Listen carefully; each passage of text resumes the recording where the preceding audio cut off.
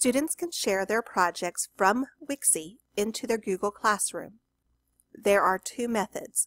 The first method is to be in the authoring mode of Wixie.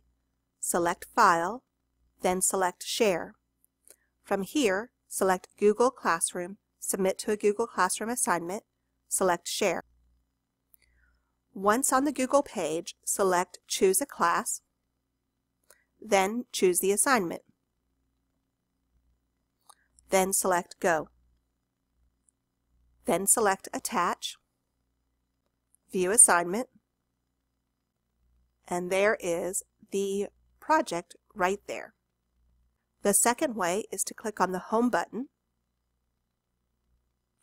go to My Projects, there's your project that you would like to turn in. There are three dots on the right hand side. Select Share, select Share to the Google Classroom, and then follow the same steps. Select your class, select your assignment, select Go, and attach. Happy creating!